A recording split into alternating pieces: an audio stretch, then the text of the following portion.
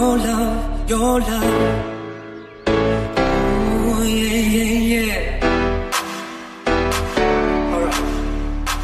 Well, I'm Peter Dorelli. I'm here uh, to deliver a message to uh, young bartenders and the future. That's what I'm here for, and we did uh, a demonstration. And I hope the message is very clear that we are, you know, uh, hospitality here, not anymore so much mixologies, but hospitality and looking after our customers. First of all, I've been uh, trying to get here three years because I'm involved with other another uh, training course with the IBA. I'm the education officer and always uh, clashes with the with the same, same dates that you have here. That's why I'm not able. But I manage manages time. I believe uh, very intensely that this uh, this organization, uh, which is Bar Show, which fly worldwide, are very very useful. Because again, it's all about training, about development, about uh, in uh, well motivate the youngsters, and uh, and I'm hoping that uh, we are obviously raise our profile, our our, our professional, in a better. Oh, I guarantee our future anyway.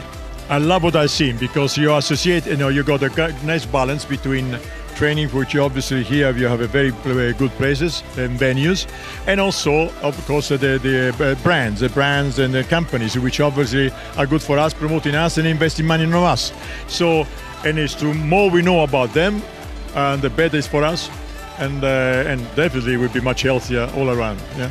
We have the same thing, you know. There's a you know very great intense intensity. You know, the young, people are very intense in- into a lot in the world.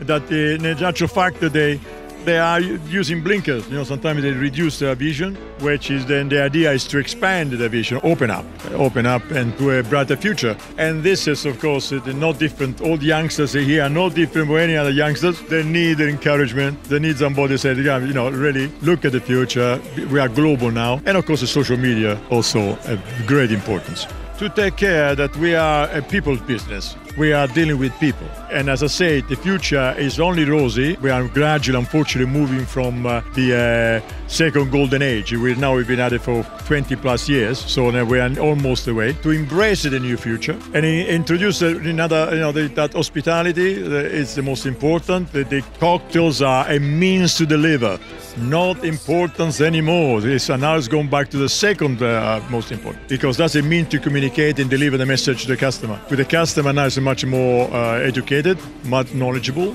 and demands not anymore the cocktail, but an experience, an emotive, emotive experience, uh, magic moments. This is all about the chemistry.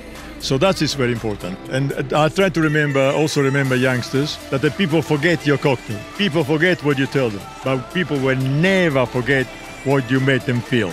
If you made them feel badly, they will never forgive you. So be careful, okay?